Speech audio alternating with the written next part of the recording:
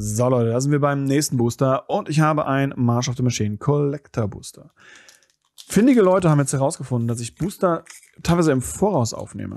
Dass man teilweise sehr alte Videos sieht, wo ich äh, altes Equipment benutze, alte Sachen nur habe, ähm, teilweise neue Booster aufmache und so weiter und so fort. Ja, ich nehme immer so eine ganze Reihe auf. Und dann kommt manchmal so der Punkt, wo ich sage, jetzt veröffentliche ich einen Booster davon weil ich die auch noch auf Halde habe. Und davon habe ich eine Menge und dementsprechend, äh, ja, habt ihr gut gemacht, das herauszufinden. Ich freue mich für euch. Wir gucken uns dieses Booster an. Wir haben eine Filting Guerilla. 302 Fairy Rogue. Wenn der stirbt, mildt jeder Spieler zwei Karten. Und dann können wir die exilen. Wenn wir die machen, dann können wir eine Battle-Karte aus einem Friedhof oben aufs Deck legen. Oh, oder Kreaturenkarte. Was? Okay, spannend. Night of the New Coalition. 4 Mana 2-2 Wachsamkeit. Human Knight. Und wenn er ins Spielfeld kommt, kriegen wir ein 2-2 Human Knight mit Wachsamkeit. Ja, okay.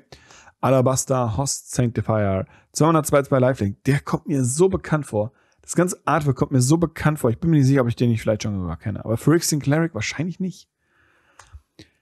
Tynerd Oilmaster, 4 Mana 2, 4 Menace. Der kriegt plus 3 plus 0, wenn er Gegner 8 oder mehr Karten in seinem Friedhof hat. Und wenn er angreift oder blockt, mildt jeder Gegner eine Karte. Für eine Kamm, echt nicht schlecht. Searing Barb, 3 Mana Sorcery, fügt 2 Schaden an irgendeinem Tage zu. Eine Kreatur, die Schaden zugefügt hat, zugefügt wird, kann nicht blocken und wir inkubieren 1. Mirror Shield Bleed, 2 Mana 2, 2 Wachsamkeit und andere Kreaturen, äh, die man targetet mit Backup kopieren diese Ability. Äh, man kann neue Fähigkeiten für Backup suchen. Backup ist eine Fähigkeit, die hier drin ist, die halt nicht wirklich Anklang gefunden hat.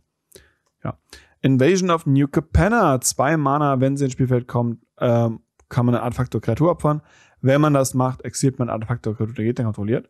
Und auf der anderen Seite ist das ein Equipment, was plus 1 plus 0 gibt, äh, eine Marke sogar, und ähm, den Kreaturentyp shared wenn man die equipped hat. Für eins.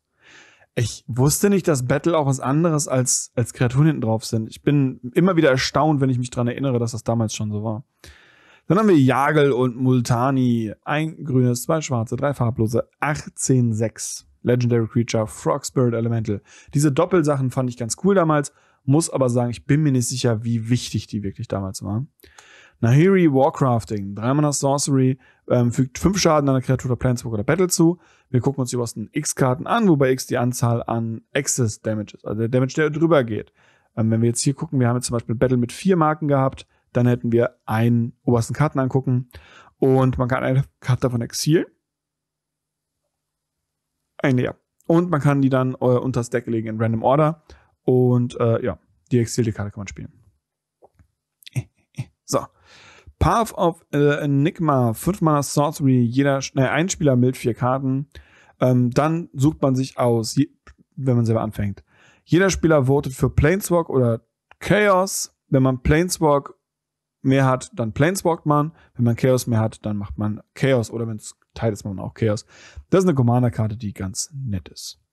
Dann haben wir ein Aegar Freezing Flame, 3 Mana 3-3, immer wieder eine Kreatur am Planeswalker, die kontrolliert Schaden von Access Damage gemacht wird, von einem Giant, Wizard oder Spell, ziehen wir eine Karte. Sind wir wieder auf Kaltheim oder was ist hier mit diesem Access Damage los? Wir sind echt wieder auf Kaltheim. Na gut, klar, der Rahmen passt ja dann auch. Dann haben wir Finn the Fang Mirror. 2 Mana 1-3 Death Touch und immer wenn eine Kreatur mit Death Touch mit einer Schaden viel kriegt er zwei Poison Counter in einem Edged Foiling. Auch ganz weirder Stuff. Und dann haben wir ein äh, Sit-Up Jabrit auf Zalfir. Das ist der Commander.